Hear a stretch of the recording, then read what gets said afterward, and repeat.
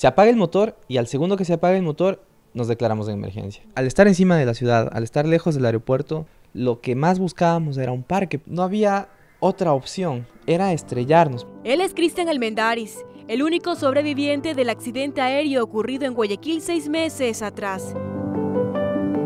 El inicio de esta historia quedó captado en este video en donde se observa cómo de a poco la aeronave tipo Cessna pierde altura y posteriormente cae sobre el parque de la Alborada al norte de la ciudad.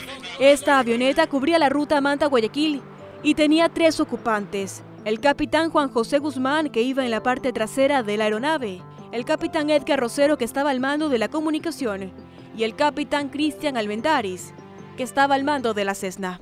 Mi última imagen fue verlos al capitán Rosero y a Jotita antes de estrellarnos. Se estrelló aquí, se estrelló aquí.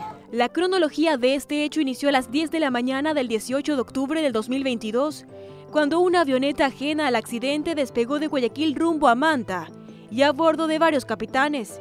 El objetivo de este viaje era retirar una aeronave que se encontraba en Manabí y regresarla a Guayaquil. A las 3 de la tarde, las dos avionetas se despegaron de Manta rumbo al aeropuerto José Joaquín de Olmedo. Media hora después de la primera aeronave en aproximarse a la pista fue la Cessna que estaba al mando de Cristian Almendaris. La avioneta tocó pista, pero nuevamente volvió a despegar. Todo estaba bien. Nosotros aterrizamos en Guayaquil, si bien es cierto, pero tuvimos un, unos rebotes en la aeronave. Y ese rebote estaba dentro de lo normal, es decir, es normal que pase esto en aviación. No es normal. Entonces el protocolo que nosotros seguimos es ante algo que esté desestabilizado, pues nos volvemos a ir al aire. Y luego de elevarse la aeronave, para ser exactos a las 3 y 34 de la tarde, a la Cessna, se le apaga el motor. Y al segundo que se apaga el motor, nos declaramos de emergencia.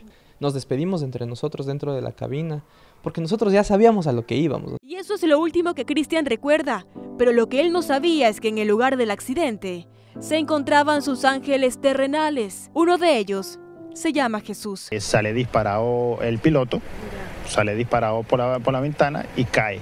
Cuando cae, yo salgo corriendo, no sé, esa fue mi reacción en ese momento de salir corriendo a ayudarlo. Lo senté en la banca, lo es conversar con él porque él me decía que él se dormía. Yo le decía, Cristian, no te duermas. Yo muy agradecido con, con ellos eh, por haberme salvado la vida. Para mí fue un milagro que no tenga más afectación. Yo Estuve casi dos meses hospitalizado, de los cuales no tengo muchas lagunas mentales, no recuerdo muchas cosas. De acuerdo a Cristian, uno de los momentos más duros luego del accidente fue cuando se enteró que sus dos compañeros de vuelo perdieron la vida. Nadie, nadie quería decirme lo que había pasado con mis amigos. Y yo estaba feliz porque me mentían, me decían que ellos estaban bien. Yo cojo el celular de mi papá que estaba ahí conmigo y me comunico con un familiar del capitán Rosero. Él es quien me da la noticia. Desde ese momento yo me sentí súper mal. Yo no le encontraba ningún sentido a mi vida. El Capi, eh, una persona muy humana, profesional. Juan José, resiliente, perseverante y muy bondadoso. Y al preguntarle si volvería a volar, Cristian asegura que ese es su sueño y que para eso nació. Yo pensaba que tal vez podría haber algún miedo, temor, pero no. A mí me encanta volar, yo nací para volar y si Dios me lo permite, yo quiero seguir volando. Pero todo depende de qué pase con mi ojo, el cual el pronóstico es reservado. Pero si no, hay otros caminos y, y aquí estoy para, para darle. Bernarda Ceballos, CSG Noticias.